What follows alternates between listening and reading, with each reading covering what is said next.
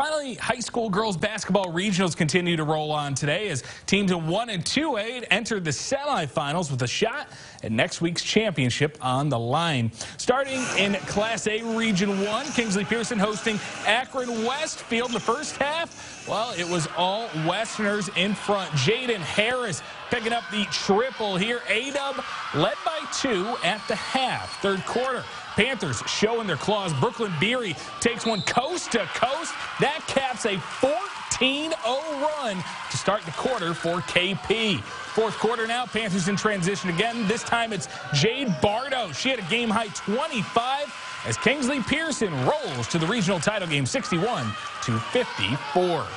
Now, who will the Panthers face in the regional championship? MMCRU and Gehlen Catholic playing to find out. Second quarter, Jays up seven. Laura Haying gets by a pair of defenders and gets a good bounce for a nine-point lead. Royals' next possession, loose ball ends up with Haying as she takes it from one end to the other. And all of a sudden, it's a double-digit lead. Royals looking for a spark a little bit later, though. Maya Holmes gets two looks at it, and she needs them, getting it to go. But what a night for Gehlen Catholic. Shooting the lights out. Chloe Bunkers, two hands in her face, nothing but nylon. Jays hand MMCRU its only loss of the season, 64 to 50.